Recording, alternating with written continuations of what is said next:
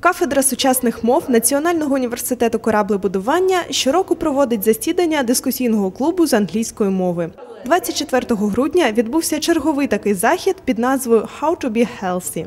Учасниками дискусійного клубу стали студенти різних курсів та спеціальностей, які мали змогу вдосконалити знання з англійської мови, а також розширити свій кругозір, поглибивши знання з представленої теми. Впродовж заходу серед викладачів та студентів велась дискусія англійською мовою про здоровий спосіб життя та його значимість для сучасної молоді. Дуже цікавим рішенням стала інсценована прес-конференція, на якій студенти спробували себе в ролі відомих науковців, екологів та журналістів. В ході інсценування науковці відповідали на питання журналістів з популярних газет стосовно різноманітних аспектів здорового способу життя. Також студентам були запропоновані цікаві завдання та тести, які закріплювали почути на занятті матеріал.